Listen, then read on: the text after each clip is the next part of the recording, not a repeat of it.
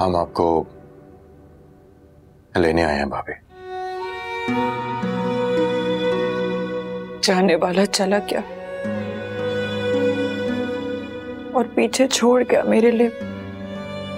नदामतें तन्हाई।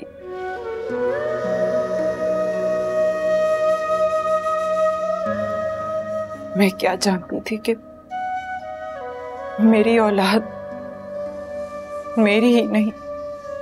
भाभी ये वक्ती आजमाइश है।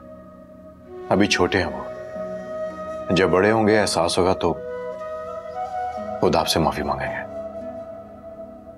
नहीं सलमान। मेरी औलाद मेरे लिए ही आजमाइश है। एक की कोई खबर नहीं। दूसरी को परवाह नहीं। साढ़े चार महीने हो गए। अजमेर का कोई अता पता नहीं है।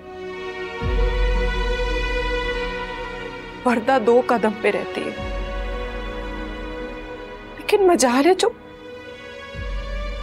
मजाल है जो उसने अपनी माँ को इस मुश्किल वक्त में पूछा तक तो को इद्दत तक पूरी हो गई है मेरी, मगर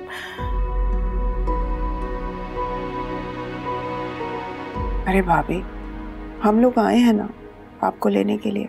क्या हमारे आने की कोई हैसियत नहीं है? बच्चे नहीं हैं तो क्या हुआ? हम तो हैं। सलमान खसूसी तौर पे आए हैं आपको लेने के लिए। नहीं सबा, तुम्हारी तो कदरों कीमत बढ़ गई है मेरे दिल में। जिस तरीके से सलमान और शहीद ने इस घर को देखा है आरिफ के कारोबार को देखा है। मैं और क्या मांग सकती थी? मैं ये एहसान कभी नहीं भूल सकती। कोई एहसान नहीं किया मैंने और शहीद ने आप पर। एहसान तो वो था जो जो भाई साहब ने मुझ पे किया था।